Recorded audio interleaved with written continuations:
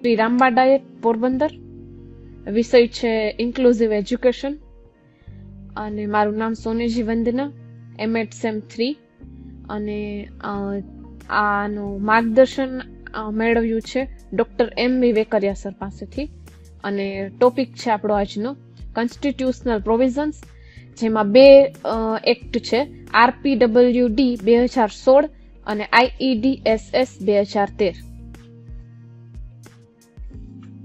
તો સૌપ્રથમ આપણે આઈઈડી એસ એસ એટલે કે scheme of inclusive education for disabled at secondary stage બે હજાર તેર આ કાયદા વિશે જોઈએ. તો આપણે થોડીક પહેલા એની પ્રાથમિક જાણકારી મેળવીએ.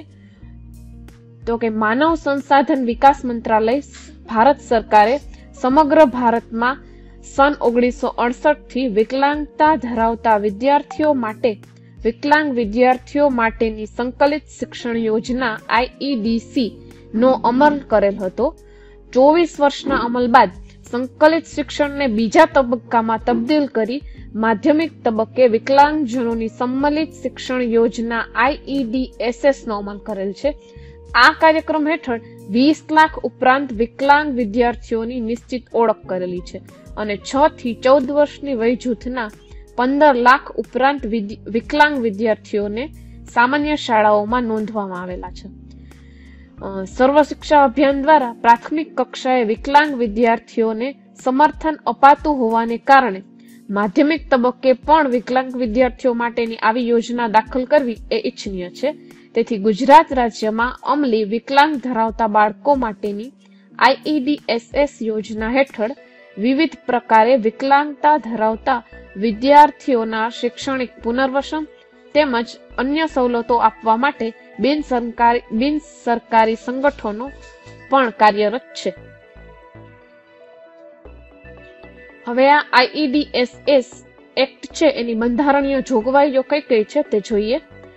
તો સૌપ્રથમ આ આઈઈડીએસએસ યોજનાનો ઉદ્દેશ્ય જુદી જુદી વિકલાંગતા ધરાવતા વિદ્યાર્થીઓને સામાન્ય માધ્યમિક શાળામાં પ્રવેશ અપાવવો તથા ચાર વર્ષની માધ્યમિક શાળા એટલે કે ધોરણ નવથી બારનું શિક્ષણ લેવાની તક પૂરી પાડવી.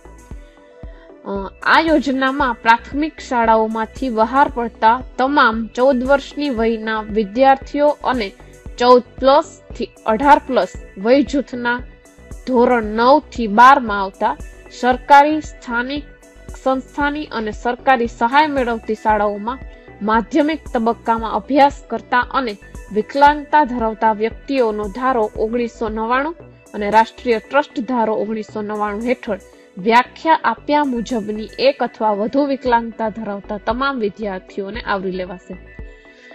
ત્યારબાદ જોઈએ તો વિકલાંગતા ધરાવતા વિદ્યાર્થીઓને તેમની વિકલાંગતાના પ્રકાર મુજબનું શિક્ષણ, વિશિષ્ટ શિક્ષણ, ધ્વનિ સહાય સાધનો, કેલિપર્સ, ટ્રાઇસિકલ, ચશ્મા, લાકડી, વ્હીલચેર તેમજ જરૂરી ઉપકરણો અને સાધન સામગ્રીના લાભ આપવામાં મદદ કરી. ત્યારબાદ વિકલાંગતા ધરાવતા વિદ્યાર્થીઓને ખાસ શિક્ષણ સહાય સેવાઓ પૂરી પાડવી જેથી તેઓ સામાન્ય શાળાઓમાં સામાન્ય વિદ્યાર્થીઓ સાથે સરળતાથી અભ્યાસ પૂર્ણ કરી શકે.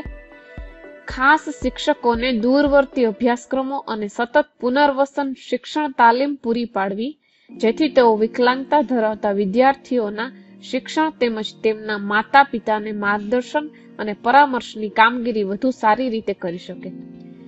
આઈઈડીએસએસ યોજનાનું અમલીકરણ કરવું અને તેનું નિરીક્ષણ કરવું તથા એક પણ વિદ્યાર્થી માધ્યમિક શિક્ષણ અને યોજનાના લાભ વગર રહી ન જાય તેવી અસરકારકતા ઉપલબ્ધ કરાવવી. તાલીમબદ્ધ ખાસ શિક્ષકોની સહાય આપવી, જેમાં પાંચ વિકલાંગ વિદ્યાર્થી દીઠ એક શિક્ષકના ગુણોત્તરમાં. તો આ હતી આઈઈડીએસએસ બે હજાર તેર એક્ટ છે. તેની બંધારણીય જોગવાઈઓ હવે આપણે ત્યારબાદ બીજો કાયદો છે આરપીડબલ્યુડી બે હજાર સોળ, એટલે કે right of person with disabilities એનો આપણે પહેલાં સૌ પ્રથમ પરિચય મેળવીએ.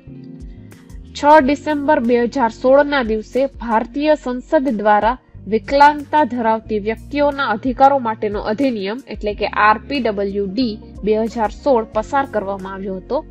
વિકલાંગતા ધરાવતી વિદ્યાર્થીઓના અધિકારો માટેનો અધિનિયમ બે હજાર સોળમાં કુલ સત્તર પ્રકરણો અને એકસો બે ખંડોનો સમાવેશ કરવામાં આવ્યો છે. આ કાયદો ભેદભાવ નાબૂદી સમાજમાં સંપૂર્ણ અને અસરકારક ભાગીદારી, મતભેદોને સન્માન અને માનવ વૈવિધ્ય અને માનવતાના એક ભાગ તરીકે વિકલાંગતાનો સ્વીકાર કે તકની સમાનતા, સ્ત્રી અને પુરુષ વચ્ચે સમાનતા, વિકલાંગતા ધરાવતા બાળકોની ઉભરતી ક્ષમતાઓને આદર અને વિકલાંગતા ધરાવતી મહિલાઓના અધિકારોને સન્માન તેમજ વિકલાંગતા ધરાવતા બાળકોને ઓળખના જતન પર ભાર મૂકે છે. આગળ જોઈએ. આ કાયદાનો સિદ્ધાંત વિકલાંગતાને સામાજિક કલ્યાણના સંદર્ભમાં નહીં, પણ માનવીય અધિકારના સંદર્ભમાં વિચારવા પર ભાર આપે છે. વિકલાંગતા ધરાવતી વ્યક્તિઓના અધિકારો માટેનો અધિનિયમ બે હજાર સોળમાં એક મહત્વપૂર્ણ બાબત કહેવામાં આવી છે કે યથાયોગ્ય સરકાર એ બાબત સુનિશ્ચિત કરશે કે વિકલાંગતા ધરાવતી વ્યક્તિઓ સમાનતાનો અધિકાર તેની કે તેણીની સત્યનિષ્ઠા માટે અન્ય સાથે સમાન રીતે ગૌરવપૂર્વક અને સન્માન સાથે જીવવાનો અધિકાર ભોગવે. હવે આરપીડબલ્યુડી એક્ટ બે હજાર સોળની બંધારણીય જોગવાઈઓ આ મુજબ છે. યથાયોગ્ય સરકાર વિકલાંગતા ધરાવતી વ્યક્તિઓને યોગ્ય વાતાવરણ પૂરું પાડીને તેમની ક્ષમતાઓનો ઉપયોગ કરવા પગલાં લેશે. બીજી છે કોઈ પણ વ્યક્તિને માત્ર વિકલાંગતાના આધારે તેની વ્યક્તિગત સ્વતંત્રતાથી વંચિત રાખવામાં આવશે નહીં. ત્યારબાદ છે વિકલાંગતા ધરાવતી વ્યક્તિને ઉચિત આવાસો સુનિશ્ચિત કરવા યથાયોગ્ય સરકાર જરૂરી પગલાં લેશે.